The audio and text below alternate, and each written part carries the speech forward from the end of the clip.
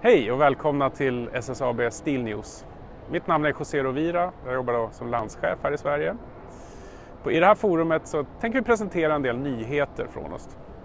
Det första jag vill prata om idag är våra leveranser. Vi såg ju under våren att efterfrågan på våra produkter startade väldigt starkt. Och eh, vi kämpar ganska hårt just nu för att hinna ikapp den stora orderstock eh, som vi har inne i våra verk. Jag vill också nämna två datum som är viktiga för oss. Första är när vi kör den svenska stålbyggnadsdagen. Det är den 27 oktober. Eh, det andra datumen som ni får komma ihåg det är den 8-11 november där SSAB har en monter på underleverantörsmässan Elmia i Jönköping. Om du har frågor eller funderingar över någonting rörande SSAB så hittar du mig och mina kollegor på ssab.com. Tack för den här gången.